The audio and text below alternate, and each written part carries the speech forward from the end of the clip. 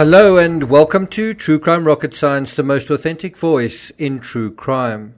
A new YouTube channel that was created six days ago on August 19, just prior to Kiely's vehicle being found, has posted two shorts, both just a few seconds long, revealing more of the sights and sounds of the infamous Prosser party. I'll put a link to that site in the description so you can watch all of that yourself. There has been some speculation of late that if there was a party, Kiely wasn't there, or it wasn't very big, or that Kiely wasn't intoxicated. I'm not sure why it's so difficult to imagine that it was a big party, or that Kiely was there, or that she was intoxicated, um, or that she got into a vehicle and that's why there was an accident. In any event, this footage helps get a sense of the vibe and particularly the music and the scale of what they're doing in the parking lot. I think it gives a sense of just how hardcore these kids are going at it.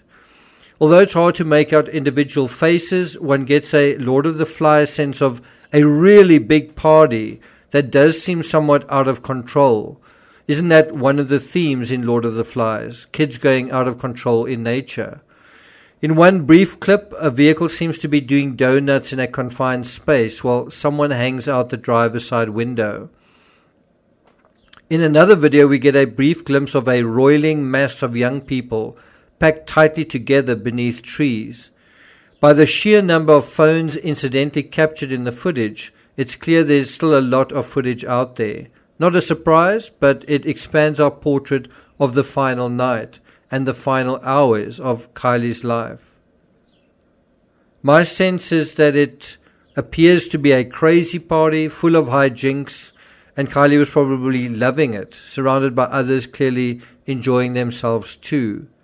But that said, there seems to be, as someone on Patreon put it, some dangerous messing around with cars at the party.